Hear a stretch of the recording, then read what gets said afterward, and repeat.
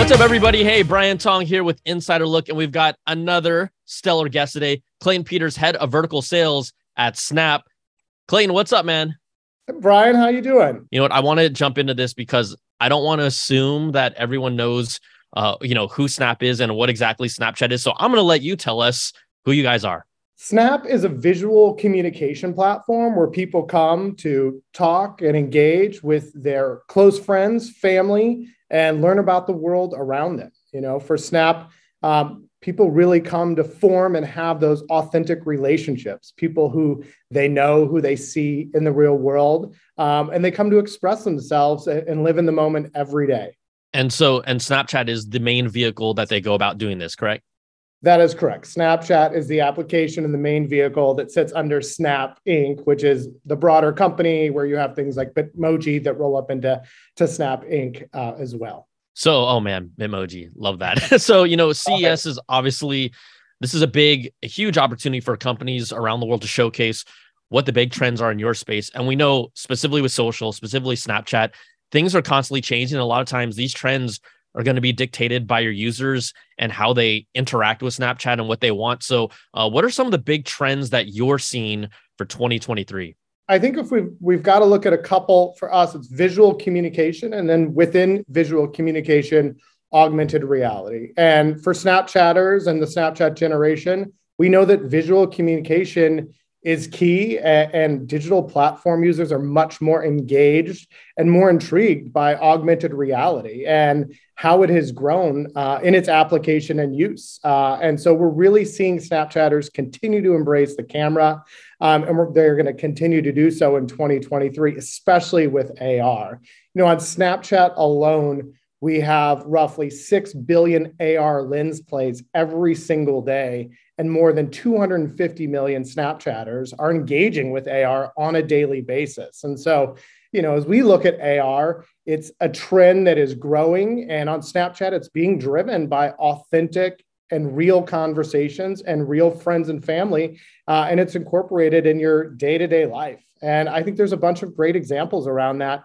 um, you know, as it relates to the World Cup, right? Whether you're wanting to celebrate your team, we've got a huge US England match coming up. Um, and you put on your team colors and pride and share that with your families and friends as you're watching the game. Uh, we know we've got the new Avatar movie coming up, which I hope you're excited about it. We are pumped about it. The Way of Water. We've been working with Disney on a partnered lens to turn yourself into a Na'vi. It is incredible and just rolling out.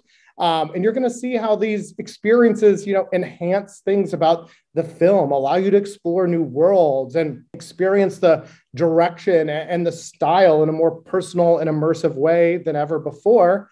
Um, and then similarly, I can put out the entire new portfolio of Samsung phones and put them into the palm of my hand and see their size and how they look and how they feel um, before I'm going shopping, before I'm going into the store. And certainly with COVID um, and a lot of things around try-on having changed with different health restrictions, augmented reality is really becoming a practical tool to showroom, to shop, to understand and get recommendations. Yeah, you know, I think if there's any platform that has really pushed um, augmented reality into the general consumer space to get them more comfortable with it, to get them to understand what augmented reality is, Snap and Snapchat have absolutely absolutely been one of those brands that have been able to do that. You know, also you talk about you know all the, what is it 250 million um is it do you say snaps per how how often?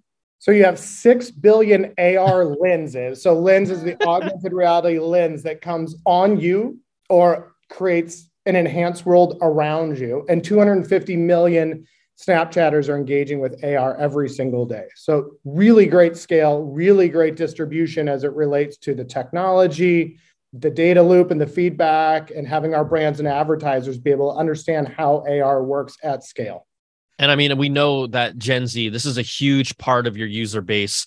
Um, you know, how are they changing? Because obviously, as generations grow, change, mature, they they can kind of help dictate or drive change as well. Have you seen anything in that direction? Yeah, I mean, absolutely. For for us, the most important thing that marketers need to realize about this generation, about Gen Zers, is they care about their values and actions, and they care about a brand's values and actions. And you need to walk the walk It's not just the words you say and what you stand for, it's how you stand for them. And, you know, when you look at that generation on Snapchat, uh, we reach over 75% of 13 to 34 year olds in 20 countries around the world. And they hold tremendous influence. 80% of Gen Z, uh, of parents, excuse me, of Gen Z report that they dictate household spend and household mm. influence through NRF. And, you know, for this generation, um, finding those areas that matter most to them and honing in on that, but being authentic, right? There is an opportunity for Snapchatters and this Gen Z uh, to go on journeys with brands around those values. And there's also, I think, importantly, the ability and the need for brands to bring this generation along journeys with them, to give them those opportunities. And that is really important. And doing so in an authentic and real way uh, is crucial for us. You know, four and five Snapchatters agree that connecting with close friends makes them feel happier. Um, and Snapchat is ranked the number one happiest platform when compared to other apps. And that that mood, that feeling, that mm. ability to know you're talking with people who are real, you're understanding, getting information um, that that has context behind it. Uh, Gen Z has the power to make immense changes in the world, and frankly, I think you and I see it. They're already doing so. And, and brand and marketers, you know, the more quickly you realize they're making that impact, and the importance of these values and the emotions that they can have on Gen Z and on campaigns, the better off we are going to watch this generation impact the world that we all live in. Um, and it's going to create a great tie in to, to brands and, and a different level of affinity than I think we've seen uh, with past generations and groups and how brands have historically spoken to them. You know, I think you make a great point there. I don't think there's enough uh, polling and reporting about what platform it ranks the highest in happy and happiness. That that needs to be a metric that is like it, I really, I really, I really believe that. Uh, you know I'm what, with you, Brian? It's you know, and I think it's important. Like you know, I know you're smiling and laughing, but for us, for Snapchat, we've really tried to be thoughtful about this mm. through the years. And you know, we we talk through Snap and our peer set, but when we say camera company, or when we say the fact that we open to a camera, being about creating and being in the moment and having something that is ephemeral that you're sending to your friends that isn't judged. It's not about likes, it's not about open mm-hmm. comments. That feeling of happiness has been really rooted in the core principles and design of Snapchat. And there's a different receptivity uh, to the content, to what you're learning, to who you're talking to, and frankly, to the brands that you're engaging with. And that continues to remain a core, core tenet of Snapchat. Um, and we all want to be a little happier. We all want to have some fun, learn about the world around us and be a little bit more educated at the end of the day. And that's extremely important for us because we hold so much responsibility with how influential Snapchat is across Gen Z's life. You know, I also am curious because like with great things and great trends, there's also challenges that come with it. So, are there any challenges that your industry is facing, and how are you guys addressing them? Uh, yes, there there are certainly some some challenging times, Brian. I think as we're all aware, as as marketers, as social platforms, and and everywhere in between, um, you know, it's continually a challenging in, uh, industry, but like right now, the two biggest challenges for marketers, as we, we see what's happening in the macro environment across so many things that are really out of um, individuals' control, is how do I be- drive better results with my media dollars, with my investment, with my spend?